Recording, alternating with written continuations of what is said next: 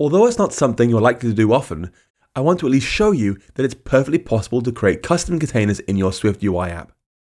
This takes more advanced Swift knowledge because it leverages some of Swift's power features, so it's okay to skip this if you find it too much. To try it out, we're going to make a new type of stack called a grid stack, which will let us create any number of views inside a grid. What we want to say is that there's a new struct called grid stack that conforms to the view protocol and that inside the grid will be lots of content cells that themselves must conform to the view protocol. In Swift, we'd write this. Struct grid stack, content conforms to view, itself conforms to view, let rows int, let columns int, let content int comma int returns content, var body some view, and for now to say more to come as a comment. The first line struct grid stack content view conforms to view uses a more advanced feature of Swift called generics, which in this case means you can provide any kind of content you'd like for your cells, but whatever it is must conform to the view protocol. After the colon, we repeat view again to say that GridStack itself also conforms to the view protocol. Take particular note of the let content line. That defines a closure that must be able to accept two integers and return some sort of content we can show we need to complete the body property with something that combines multiple vertical and horizontal stacks to create as many cells as was requested. We don't need to say what was in each cell, because we can get that by calling our content closure with the appropriate row and column. So we might fill it in like this.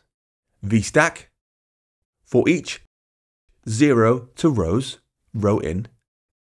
Then hstack for each 0 to columns, column in and then call our closure self.content row, comma, column. Now that we have a custom container, we can write a view using it like this. Grid stack, rows for, columns for, row col in, text, r string interpolation row, c string interpolation col. Our grid stack is capable of handling any kind of cell content as long as it conforms to the view protocol. So we could give cells a stack of their own if we wanted. hstack,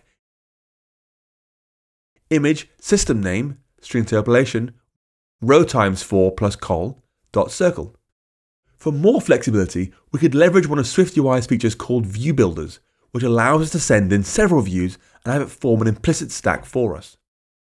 To use this, we've got to create a custom initializer for our grid stack struct, so we can mark the content closure as using SwiftUI's View Builder system init, rows int, columns int, at view builder content, at escaping, int, int, returns content. Self.rows equals rows, self.columns equals columns, self.content equals content.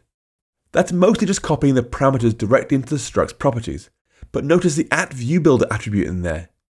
You'll also see the at escaping attribute, which allows us to store closures to be used later on. With that in place, SwiftUI will now automatically create an implicit horizontal stack inside our cell closure. Both options work, so do whichever you prefer.